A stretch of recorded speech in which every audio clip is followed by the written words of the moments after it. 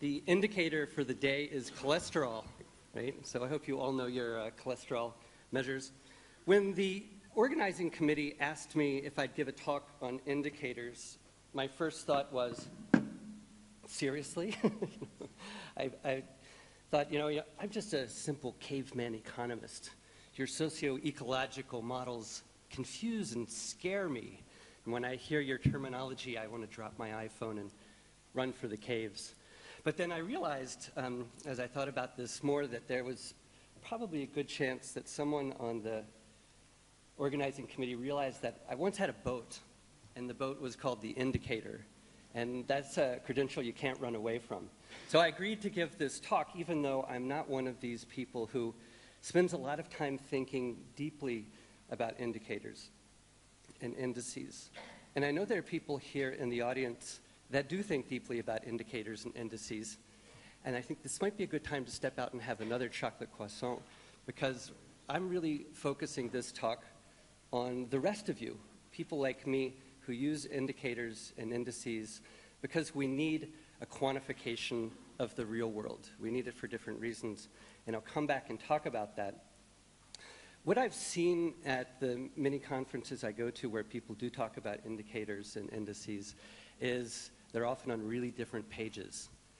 It sounds like we're talking about the same thing, and as you get deeper into the talk, you realize that we're not talking about the same thing. And in some people's talks, you realize that they start talking about indicators and then they mean indices and they're back to indicators and maybe it's metrics and now it's essential variables. So what I want to do with this talk is start our day on indicators by trying to get us all on the same page by telling you about my page and the way I think about indicators and indices. And I don't want you to agree with me, but I am hoping that if you see how I think about these things from the perspective uh, as an economist, who was before that uh, a policy analyst, who was before that an ecologist, it might help us all get on the same page. So first what I want to do is I want to see if we're all on the same page. And to do that, I want you all to take out your smartphones and your laptops and, and get connected to the internet because we're going to do a participatory exercise right now. And it's on Kahoot. So go to this website, and in a second, once you're um, hooked up, we'll give you a pen. And what I want to do now is I want to go through some examples and ask you whether you think it's an index, an indicator, or something else. And then if we have time, I have a selection of um, indices and indicators, some of which are real and some of which aren't. And I just want to see what your knowledge of indicators are. So go ahead and get connected. Antoine, why don't you switch us over to Kahoot? So once you're on kahoot.it, you will see this, uh, a place to enter your pen. It's not .com, it's .it. And you'll have to put in a nickname. Aha. Success.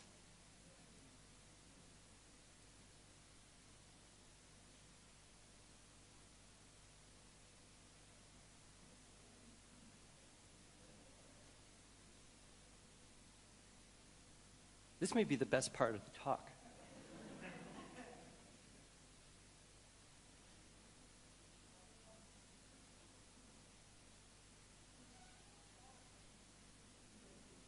Okay, we're starting to reach some kind of stasis here.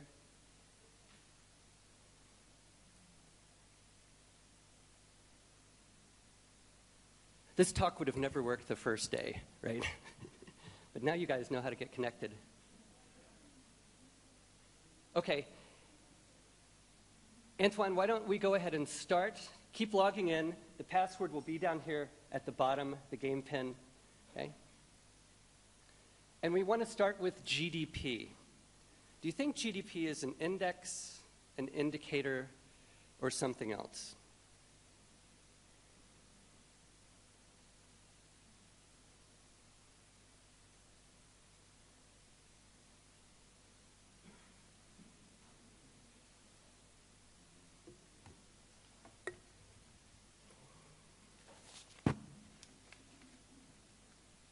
Okay, so there's not consensus, right? 22, 12, and then 6 think it's something else. Okay, let's try the next one. And GDP is the world's most common indicator. We should be a consensus. How about the genuine progress indicator?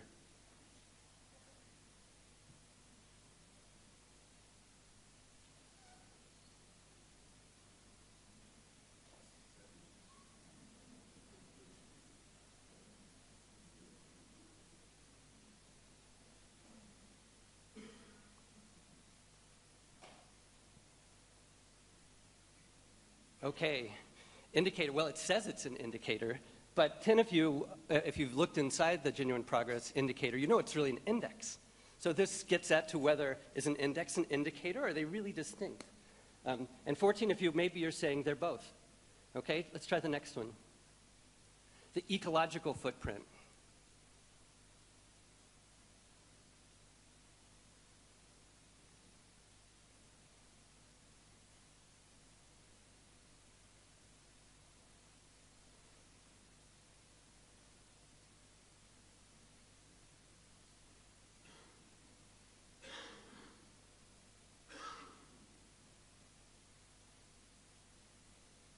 okay? Even split. The ecological footprint is an amalgam, it's an index of all sorts of different kinds of measures. Let's try carbon footprint.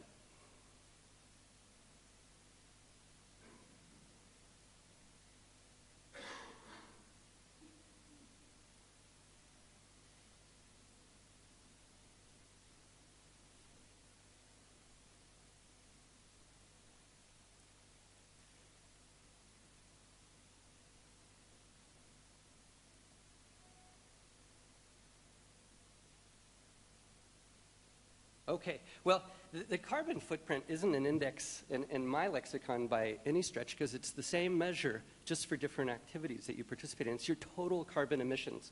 So in the world where I work, I would never call that um, an index, but clearly it's an indicator. Next. The Gini coefficient, sometimes called the Gini index.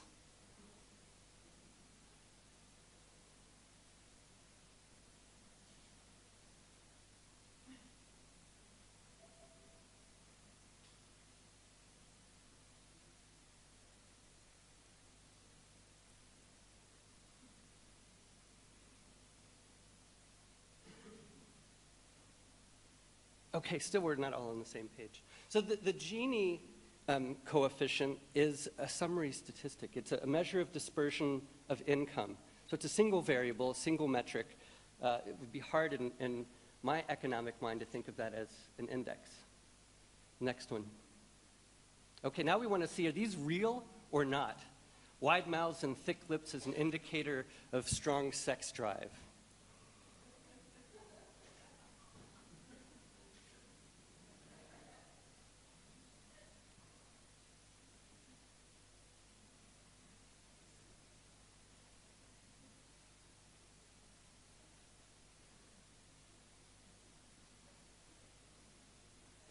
Okay, well, so there's a whole book written on this. Facial features as, in, as indicators of sex drive. Unfortunately, there's almost no empirical evidence provided in the book. Okay. Next, the Bangladeshi Butter Index as a predictor of S&P 500 performance.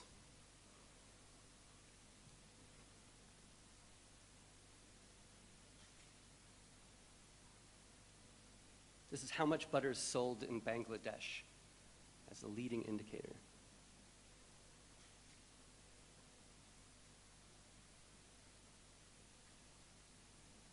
Well, Investopedia says it is an indicator, but it also says there's no empirical evidence for this either.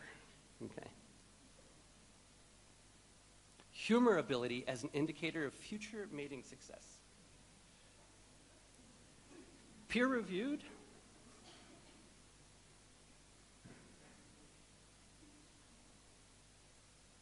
If this is true, it explains everything you need to know about teenagers.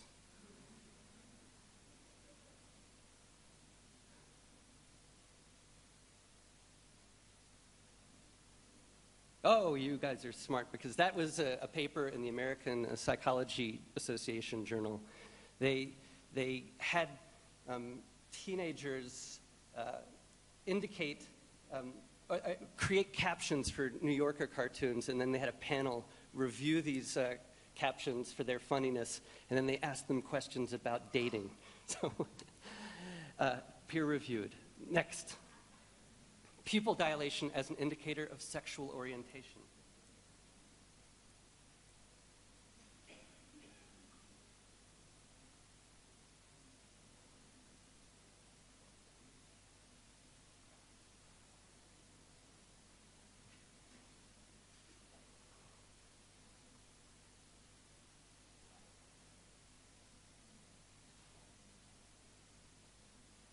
No, this was uh, peer reviewed as well in PLOS One. And I'll come back to this because there was a, it was an important breakthrough in um, the literature for this particular discipline. But in fact, uh, you can use people's pupil dilation after showing them pictures of members of the same and opposite sex to determine their sexual orientation. Okay, I think that's it for Kahoot. Let's go ahead and go back to the presentation.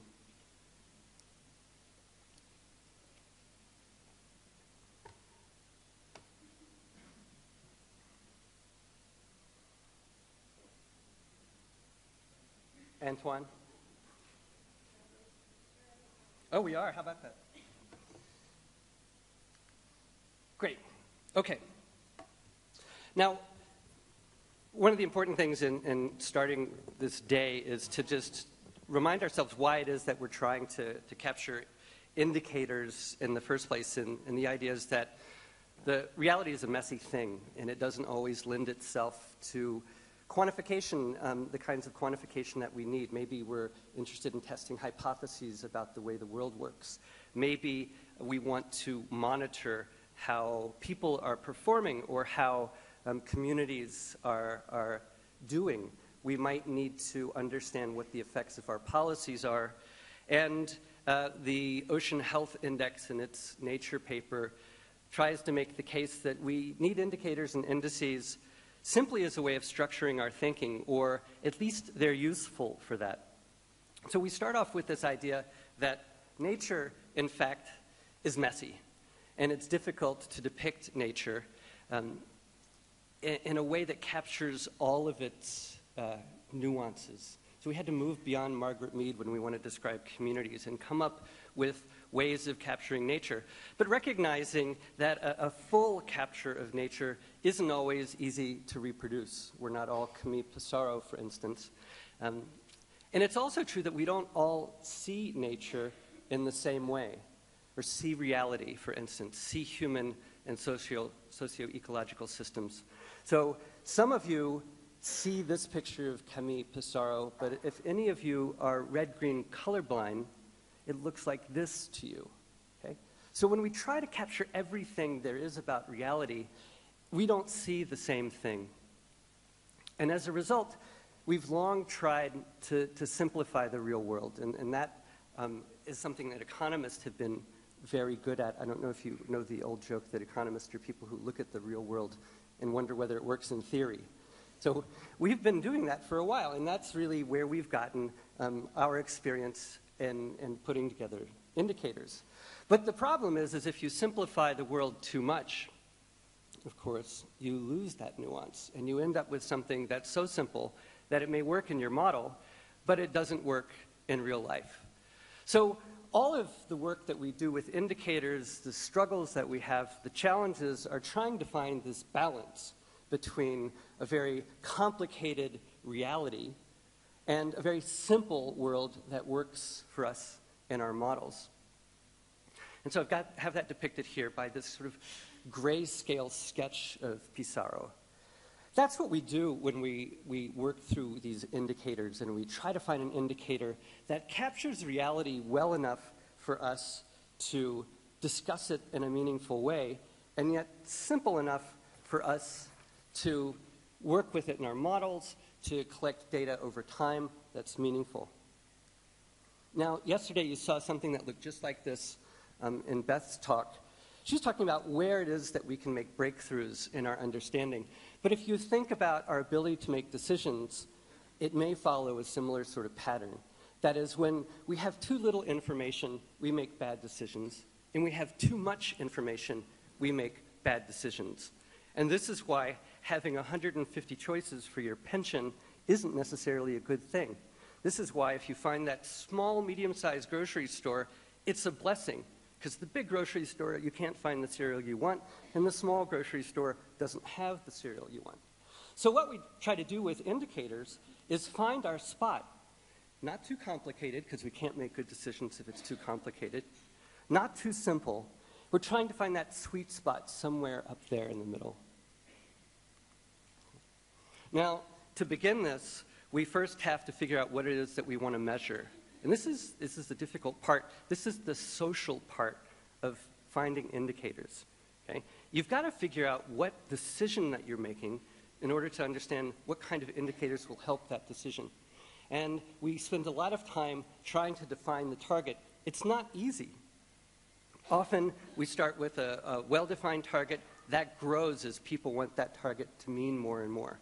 So we'll spend a lot of time, you should spend a lot of time uh, really understanding what you want the indicator to measure before you try to measure it. And then we have to move on to the second challenge, which is finding a metric or an indicator that really hits the target. This is the real challenge that we have because often we miss the target and then we go on and we create performance measures that aren't measuring our target anymore. We get so focused on the indicator that we start managing the indicator and not the reality. And anyone who has a boat with a GPS knows what this is like. You look at the GPS, you're driving the GPS, not the boat, right up until you hit the sandbar. Now, when we, we measure this, um, I'll call it a state right now, um, this target, this thing that we're trying to measure. We'll measure it in a given time period, and it may represent something in that time period that we care about, like well being, for instance. It may measure um, uh, vulnerability in a time period, but it may also capture important information about other time periods. So, for instance, if you watch crime shows, you know that the liver temperature of a body tells you when that person was killed. So we measured the indicator today, but it's trying to understand what happened in the past. So this is a lagging indicator. Many other indicators, though, we use to try to understand what's happening in the future. So we think about um, leading indicators. We want to know where the economy is going. And so we look at indicators. This, I think, is where we often get confused between whether we're creating an index or a model and I'll come back to that. Because we expect our indicators to be predictors of something in the future, and they may not be. Now, I've heard in a couple of talks here the past couple of days that my indicator or my index is relative. And, and what you're saying there is that the indicator or index that you're using is intended to be comparative. There are some indicators and indices where if I tell you the metric, you know what it means. So if I say your pulse rate is near zero, you know that's bad, right? But there are lots of other indicators and indices whose absolute number is very difficult to interpret. So if I say your ocean health index score is 71, you have no idea what that means, really. Okay? It, it needs to be comparative. So often we search for an indicator that we can use to compare the same state across different people, different communities, different regions, different countries. And so if we do that, the indicator has to be appropriate in all of those different places. We have to be able to collect the data, the context has to be the same, etc. Those may be very different indicators than if you try to collect data that looks at a change in state over time. So we may want to know, for instance, um, how someone is performing, how you're doing uh, in, in one period versus another period versus another period. So past performance may be indicator of future performance, although not apparently if you are a finance or investment company, because they always say past performance is no indication of future performance. But we need an indicator then that um, really works across all these periods. Now, we need an anatomy of um, an indicator to really know what we're talking about. I want to step back and, and talk, for instance, about whether we've got the state right. So I talked about this a little bit. But we've got to start with this state, and it has to be quantifiable, it has to be the right one. So you may have heard there is a lot of talk now in the US about grit as a good um, predictor of success in your future life. Study's been getting a lot of press. Uh, schools are talking about how do we incorporate grit into our curriculum. Well, the indicator, um, they used three different indicators to capture success. The indicators were performance at a spelling bee, your likelihood of completing uh, the summer boot camp at West Point, and grade point average. Now, these are quantifiable, they are measures of success, but they're not necessarily very good indicators of the kind of success that we hope for our kids when they go to school. Okay? On top of that, the idea of grit is so idiosyncratic and difficult to measure that the authors have claimed that it defies an indicator. So while you have school systems now that are asking their teachers to instill grit, um, to improve success, we have a concept that defies an indicator and a concept that's only been tested on indicators that we consider fairly limited. And this is true, I think, of a lot of things that we set out to measure. So we have this anatomy. Uh, you're interested in the state, but a lot of times the things that you set out to measure aren't about the state at all, but about something else that's somehow connected to the state. So they're inputs to the state, things that affect the state you're interested in.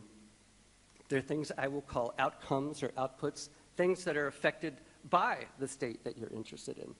And we, we work with this kind of linear model all the time when we think about, for instance, the DPSIR framework, or uh, if you think about vulnerability in terms of threats, sensitivity, adaptive capacity. Okay? We often set out to find an indica indicator for one part of that linear conceptual model, but we end up measuring other parts of that linear conceptual model. So I wanted to know how people that I work with thought about estuary health. I did what um, all social scientists would do, and I turned to Facebook and I asked my 500 friends or whatever they are to give me indicators of estuary health. And I got answers like this. I said, oh, yes, you know, fertilizer use, green infrastructure in the watershed upstream, those are all good indicators of estuary health. Well, they're not. They may be things that determine estuary health downstream, but they're not direct measures of estuary health. So I kept asking, and I got, well, there's also seafood-related illness. Well, seafood-related illness, if you're eating fish from the estuary, may be related to estuarine health. It Could also be related to a lot of other things. Like, have you ever seen the size of a, of a basket of seafood from Clawson's and Beaufort? That alone can cause seafood-related illness. So we've got measures here that are related to the state that we're after, but we still have missed an indicator of our state. So it was only a handful of people who suggested things like, oh, well, what about habitat coverage? Or microalgal abundance? Maybe it's fish assemblages. These are more direct measures of the state that we care about. Now, you've got the watershed, you've got the estuary, you've got the people who depend on the estuary. And you're likely to want indicators for all of those parts, not just because you're interested in the whole socio-ecological system, not just because you're interested in doing a model, but because you have people who manage different parts of that system. They all need to know. So when I talk about state, it could be anywhere in that chain from beginning to end. Everyone's interested in trying to capture that state in some, some way. Now, a lot of my work um, is, is not about fisheries, but it's about other things. and uh, including water quality and um, recreational happiness and things like that. We, we usually find ourselves stuck with some proxy. You know, why the hell can't we just measure what we want? We've got to go out there and we have to measure something that um, not what we want. And this is, by the way, is my fisheries slide for today. This is as close as I'm going to get to fisheries. Well, you know, it's hard to measure what we want, and it's hard for a couple of reasons. Some, sometimes you just can't go out and ask people about certain things. So, for instance, in Southern California, there are a lot of little old ladies and men who go out at low tide and illegally fish for bivalves and invertebrates and things like that. And so you can't just ask people to tell me about your illegal recreational fishing. I mentioned the, the pupil dilation study earlier because there are lots and lots of places where you may be interested in changing patterns of sexual orientation, but you can't ask people, so you have to turn to something else. So these researchers wanted to know if they could use pupil dilation. I mentioned it was a big breakthrough because the previous indicator was genital arousal, which you can imagine has all sorts of volunteer bias and interviewer problems. So they said this is a major breakthrough to have pupil dilation. Now, sometimes we can't measure a state because the state we're interested in is complicated. Okay? It's a latent state. So, nutrition, we can define that pretty directly. Health, uh, health is a little bit harder to define and happiness is even more difficult to find because happiness is um, the sum of many factors, and it may be difficult to measure happiness, although I'll come back and talk about an attempt to do that. So these are latent states, and there is a whole uh, body of literature in, in the statistics world about latent variables and how latent variables combine to create a latent state, and what you have to do when you're working with variables that combine to create a latent state. But we often see people going out and trying to create an index that captures the latent state without thinking carefully about the statistical relationships of the components of the index that create that latent state. Now, I mentioned uh, in much of my previous work, I worked in recreation and beach water quality. And in beach water quality, what we're interested in is is the water contaminated in a way that makes people sick? And the thing that makes you sick when you swim at a contaminated beach is viruses. But viruses are really difficult to measure. They're really tiny, and they exist in dilute quantities. And people don't understand the viruses in the water around them, and they're expensive to measure. So historically, we've turned to other proxies for water quality. And in particular, we've looked at fecal coliform and E. coliform, uh, e, and E. coli. Now, E. coli and, and fecal coliform are not what makes you sick normally when you get sick from swimming in contaminated water. But they represent the existence of um, something bad in the water that may be connected to human wastes. Okay? E. coli is a terrible um, predictor of sickness in epidemiological models. Okay? But it's a very good indicator. And it's a good indicator because it tells you whether your sewage treatment is working upstream. And it's a good indicator because people know E. coli. Why? Because a lot of us plate E. coli in petri dishes in high school. We've seen it grow. We think it's disgusting. Okay? We hear on the news about restaurants that have been closed because of E. coli. So it's an imperfect proxy that works well because people take this information and they make decisions about this. In Southern California, we've been able to model people's beach going behavior as a function of a number of things, and the average E. coli count that is used to create beach grades is a strong predictor. It's not the daily E. coli, it's the average E. coli. So our indicator should be average E. coli at the water site not viruses, not the daily E. coli. So this is one of these examples that came up yesterday. You know, do you go with the, the more accurate indicator that people don't understand or the less accurate indicator that people do? This is not a model. This is a, a data a bit of data that people are using to make decisions. So if they don't trust the data, they're not going to use it no matter how accurate it is. Now, context matters, and in lots of discussions you'll hear, well, in Alaska, we used this indicator, or in Australia, we used this indicator, in Kenya, we used this indicator. And that might be great, but context is important, so we always have to kind of keep that in mind and remember when we're thinking about using different indicators, what's your context? So in putting this talk together, I talked with my research group about canaries in the coal mine. And uh, most of you, I would guess, know that canaries are a good indicator of bad air in small spaces. So it's a good indicator of um, hazards to human beings in places like coal mines, uh, caves, things like that. But many of the younger French researchers from Western France had never heard of this because there are no coal mines in Western France, and there are not that many coal mines in France, period. Okay? So it's not the right indicator for um, air quality in other places, uh, and, and it certainly isn't the right indicator for other kinds of hazards. Okay. So we have all these indicators and indices that we're doing, we're talking about. I just want to quickly run through what I mean by these and encourage you to define what you mean by these in your talks. Uh, the ideal is to find a single indicator that represents the state you're after. But as I mentioned, sometimes states are complicated. They could be multidimensional or latent. You have more than one um, thing you're trying to measure. If you have two different kinds of metrics with different kinds of units and you combine them somehow, for me, that's an index. If you have two measures, two metrics, say your height plus your height, your weight plus your weight, and you add them up, for me, that's an aggregated indicator. It's the same metric over and over again, you're just adding it up. Now, there's a third class that has the same metric in the same units, but gives different individuals, different communities, different people, different weights. This is what stock indices do.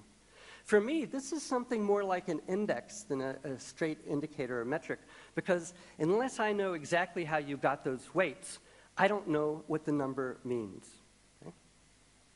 Now, since we're talking about weights, I want to just say something parenthetically. You will see all the time, including in the Ocean Health Index, a statement that says to avoid value judgments, we didn't assign weights to any of the components. Well, I'm sorry, you just did give a value judgment, which means you think everything's equally important. It's not true. And when we conduct, create an index, we're always making value judgments. The only way you can get away from that is to empirically estimate the weights of your index. That means you have to go out and collect data about the endpoint that you're trying to measure and see how well your index measures that. Until you do that, your index is aspirational. Now, we're hearing a lot about essential variables. I just want to point out that essential variables are not indicators or indices per se. They have two words instead of one. I think essential variables, it's, uh, it's a bit cheeky. I would call them sufficient variables.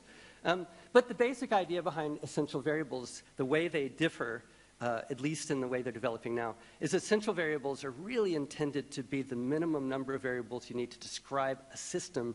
And to date, it's been non human environmental systems climate, it's been ocean systems, biodiversity.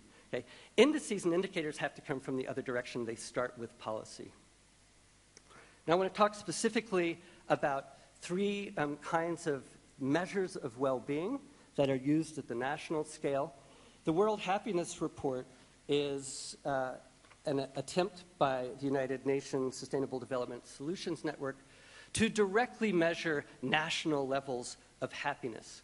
So, this is a direct quantification of this latent variable happiness, and they use kind of complicated questions uh, to get at the happiness of the people they interview.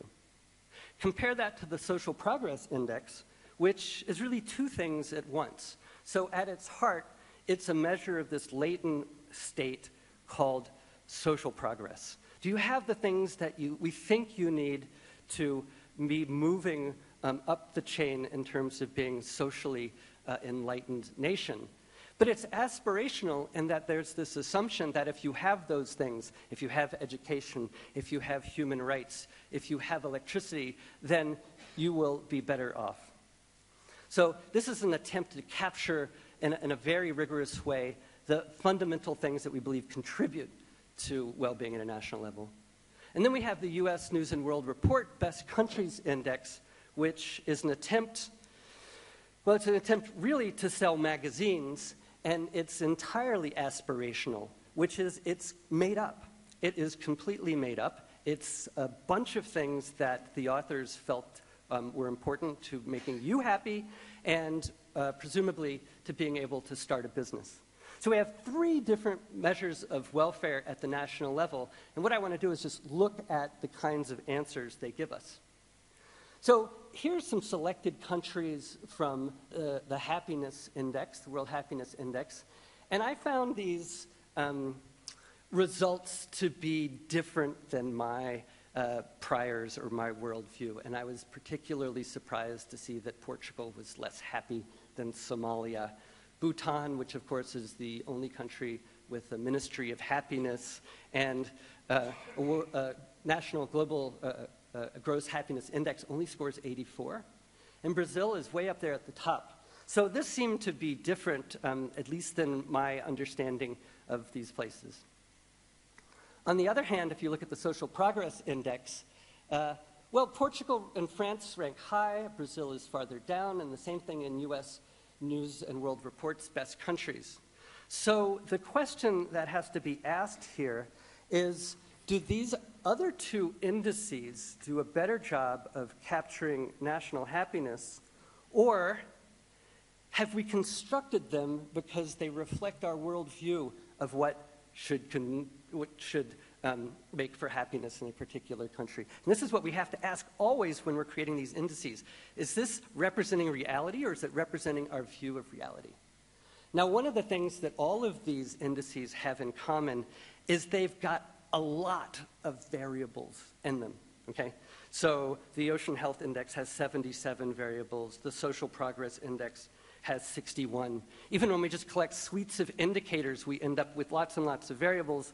The, uh, the set of indicators that NOAA uses to assess um, human health and well-being in the Gulf of Mexico after the Deepwater Horizon is 100 variables. We once at NOAA had um, uh, we com- compiled a set of coastal use variables. There were 88 of those. And so the question becomes why so many variables? Well, I think there are at least four reasons why we end up with so many variables. The first is we ask our indices to do too much. So, in the Ocean Health Index, for instance, they say this index can be used to raise public awareness, direct resource management, improve policy, prioritize scientific research, and then when I think about it, the paper that we recently submitted on indicators for coral reefs and global climate change probably made many of the same promises. Okay, so if you ask an index to do too much, it grows so big it may not do what you want it to do. Another reason is we're often stuck data mining. We don't get to say what the variables are that we work with often, we just have to take what's out there and make sense of them. A third reason, and Jake touched on this, was that often we create our indices through these consensus based pro- processes. And it's not just at the governmental level, but this is how we do business now at, at NCEAS and SESYNC in the US and other places in France where we all sit together in a big group and lobby for our favorite variable to be included in the index. And then finally, a lot of people that come at this index creation process come at it with a modeling mentality. And they want to put in everything there that's important. Okay. So, what do we do? We, we boil it all down to one number, um, and when we do that, we end up with uh, a number that often is very difficult to discern. So, e pluribus unum is a good motto if you're creating a country, not a very good model for an index. Then we try to break our index up into sub indices, subgroups, goals, whatever. And here's some examples from the vulnerability literature that we work in, different kinds of subgroups. Well, when we come up with these subgroups, we have to figure out how to make the subgroups and then what goes in the subgroups. And we tend to follow two different paths. One path is the pure statistical analysis, like principal component analysis, that really says we're going to let the numbers decide and we don't know anything about this. Okay? And the problem with that is principal and components analysis often gives you these subgroupings that don't make any sense at all. Okay? So you can't forget that you know something going into this. But on the other extreme, we have expert groups that tell us what the, the subgroups are and what should go in the subgroups. And often, we never go out and validate whether the experts were right. So we have the experts know everything. You don't need numbers. You only need numbers to illustrate your index. So we really need to move beyond that and get in the middle. And that's why I was talking about this latent um, statistical analysis. So what's the, the key? Well, someone asked yesterday, what's the right number of variables I need to be using in my system? Does anybody know what that says? No, neither do I. But it says something like this, right? Which is Occam's rule, which is you just you need just enough for the decision at hand and not any more. Or as the Navy said, you need to keep it simple, stupid, right? So we need to keep this in mind when we're creating our indices, when we're creating our suites of indicators. We need just enough and not too much.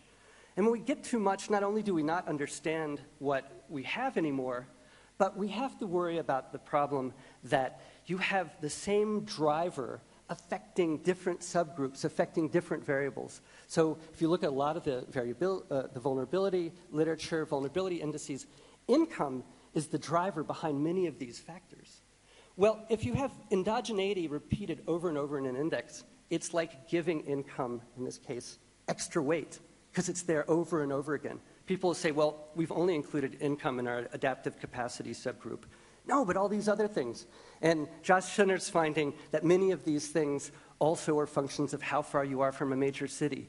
So you think you have independent variables, but you don't have independent variables at all.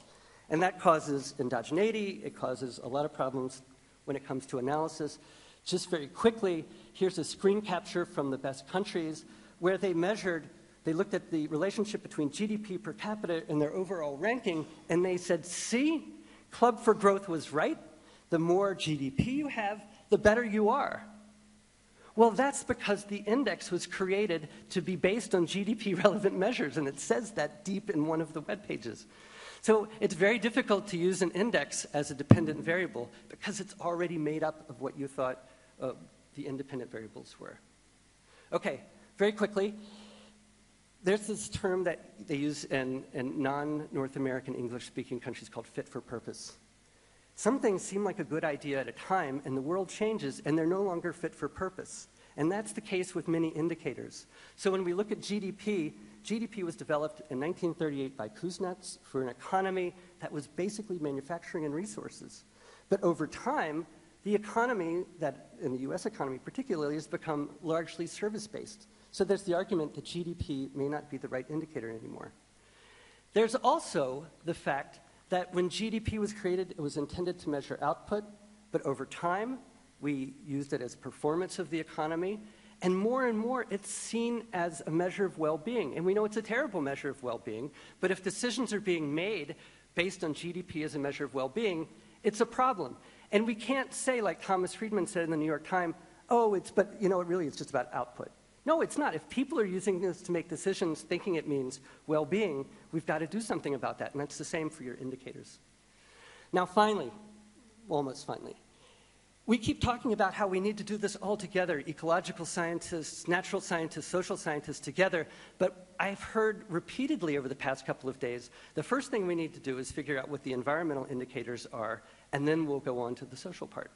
Well, we know that's not the case because often you give us environmental indicators that don't mean anything to me as an economist or as a policy decision maker. We need to do this together, okay?